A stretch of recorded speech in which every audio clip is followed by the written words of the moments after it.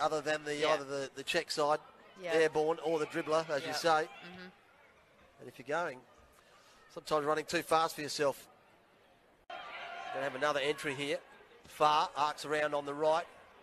The bouncing ball. Easily picked up back there. The clearing kick's okay to Duffy.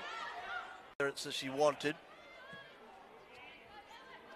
Steaming onto that one, not being able to take the mark is Boag. Second effort's a better one. One of those is Megan Ryan. She quickly releases as well, and now they've got it up to centre wing. The pack out there, it's not going to come out quickly, but it does via a handball from.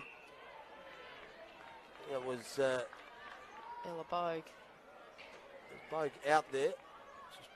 Look for to find Swanson now. She takes off. Sticks her boot into that one. Packer at the going to fall into the arms. About three bays down there. Searle running away from the pack. A great delivery out to Packer. And try and catch them unawares, which they've done twice This- in a row now. And is this going to be the little momentum period where they do put some scoreboard pressure on and change the game? Patterson at half back. Yeah. Good handball by the Bazers. Got the ball back for them, and they are uh, going to come out members' side.